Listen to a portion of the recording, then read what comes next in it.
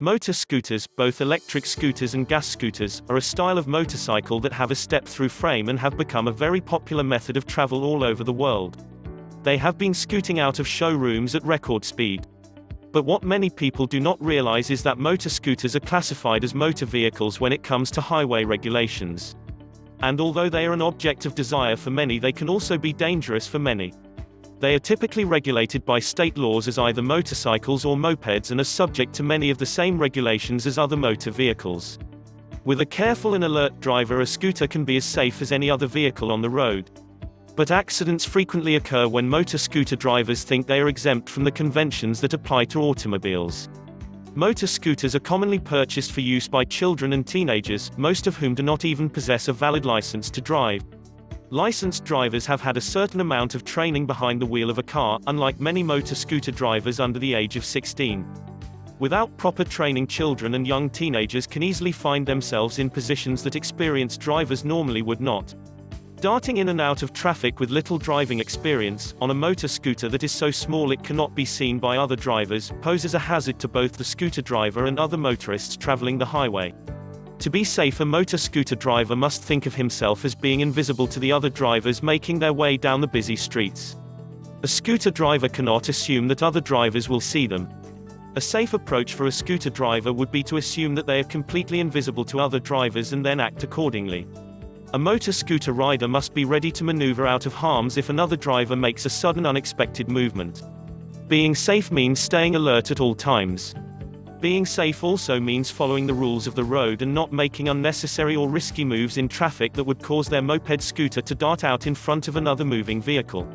Automobile drivers must have time to react to a scooter driver's movements. There are many reasons to own a motorized scooter. They are often used for traveling short distances around the neighborhood to perform errands. Due to their size, fuel efficiency, weight, and typically larger storage room than a motorcycle, they are ideal in this situation. But in the hands of the youth, without any previous driving experience, they can be deadly. The ATV, go-karts, dirt bikes and mini bikes are other racing vehicles that are often owned and operated by younger drivers. ATVs are usually used off-road along with dirt bikes and mini bikes. Go-karts are typically driven on paved tracks specifically made for the go-kart. The go-kart, mini bike, dirt bike or ATVs don't usually get out on the open road where there are cars to contend with. Therefore they also avoid many of the dangers that scooter drivers must face.